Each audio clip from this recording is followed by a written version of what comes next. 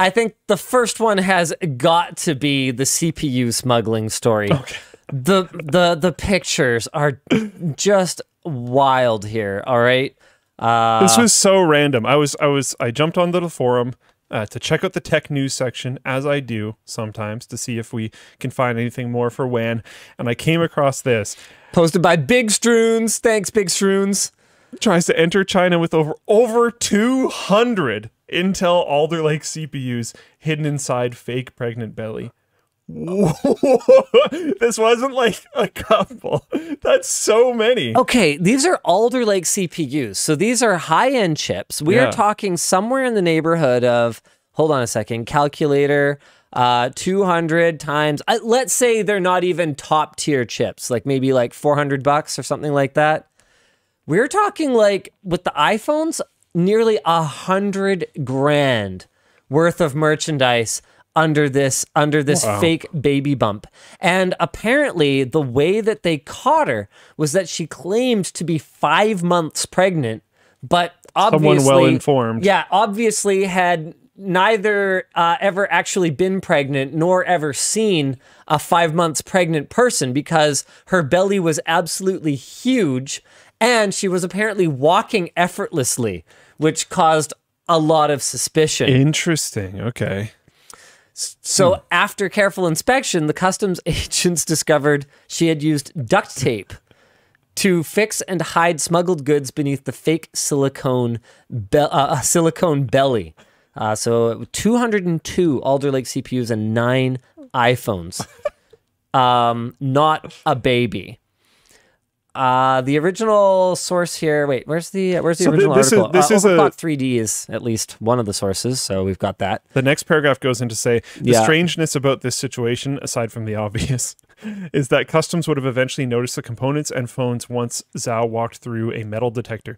Do they have pregnant women walk through metal detectors? Yeah, Okay. Yeah. So like, what the heck? Yeah, there's nothing about a metal detector that would cause Ma'am, your your, of. your your baby is metallic. Yeah, exactly, right? How could she have possibly thought this was going to work?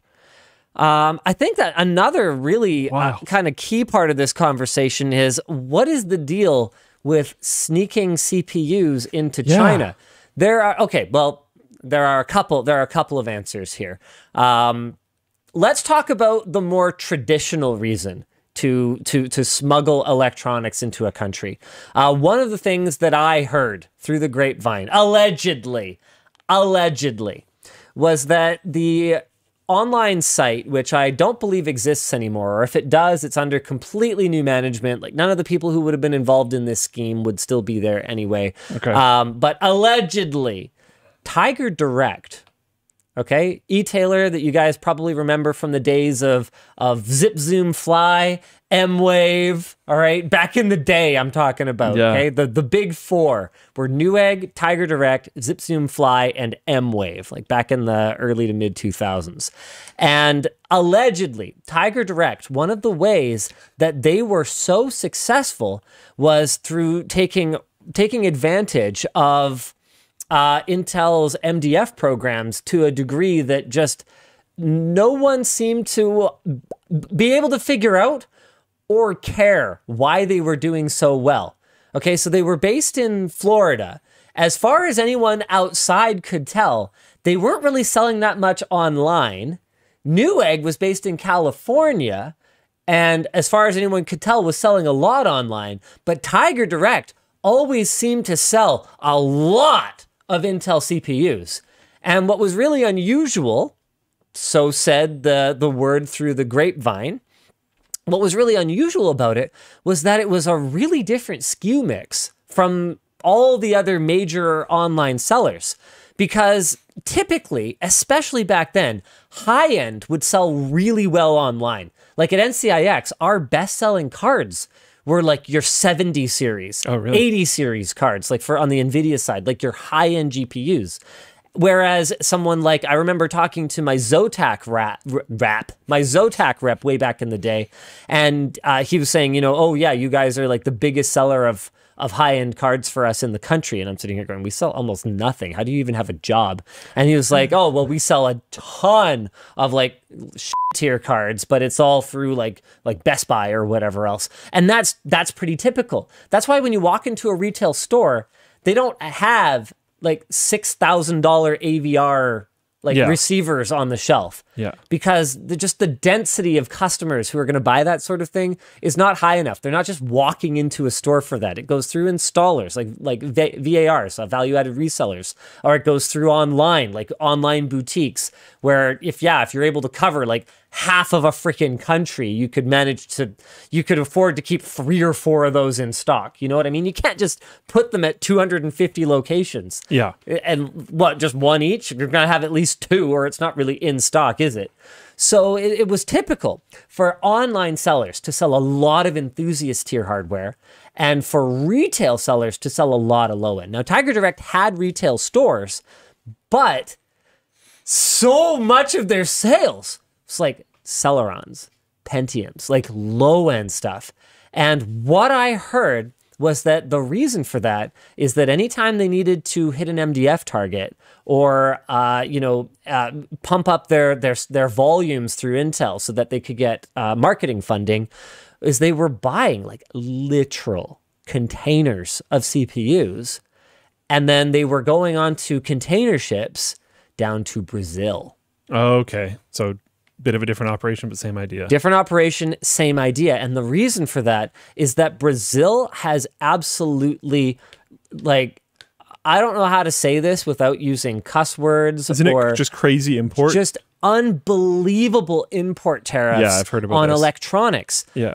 If you see a Brazilian, like an actual Brazilian who lives and works in Brazil holding an iPhone, they are a baller because everything, all electronics, just have these wild import tariffs, and it's so it's so frustrating because you look at it and you go, why? Yeah. Like, I okay, sure, you want revenue for your like government or whatever, like, but maybe how about something more reasonable? And then people could actually afford any of this stuff, and import volumes would go up, and like probably it's a net gain all around. And then you have better technology in the country, and that's good for entrepreneurs. Like, there's there's obvious reasons for for you know uh, less friction when it comes to international trade, particularly around electronics but I, uh, I I don't know. Anyway, the point is the the smuggling uh, operation that allegedly was taking place uh, out of Florida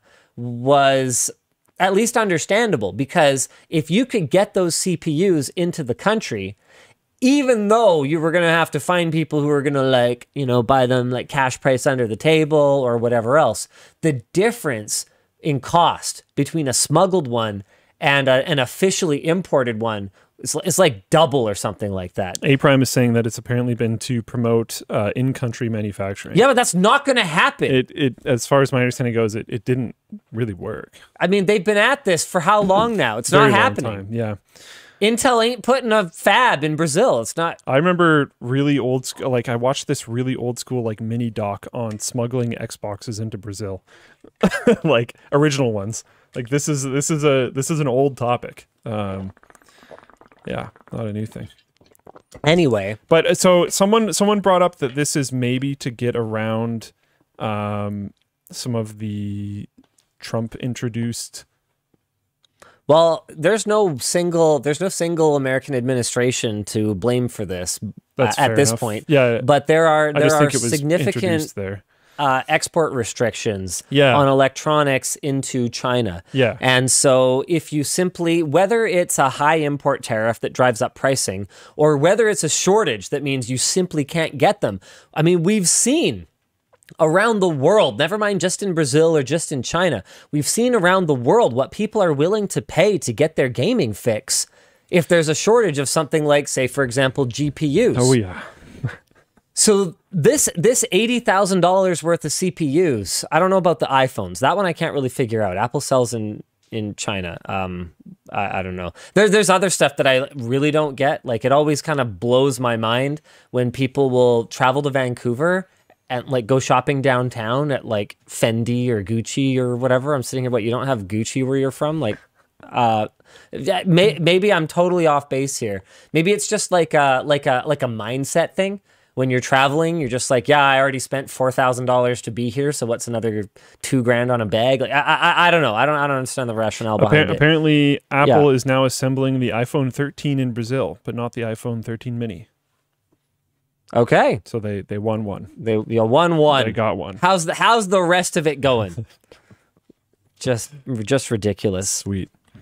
Um, uh, but yeah, I, I I just thought that was funny. Yeah, so so we've so we've seen what people will pay when there's a shortage. So it's possible that this eighty thousand dollars worth of CPUs is worth, I don't know, a hundred thousand, a hundred and fifty thousand. I mean, clearly there was money to be made if she was going to risk, I mean, jail time, making an attempt like this. Can I help you? Sorry, I I got it. We're fine. Um, yeah, no, it's um, and it, this has got to be like pretty much guaranteed jail, right? Trying to smuggle over a hundred grand worth of something into a country. Yeah, I would I would think so. The amount of money involved. I'm pretty sure that would throw you into jail here. I yeah, that's a that's a lot of money.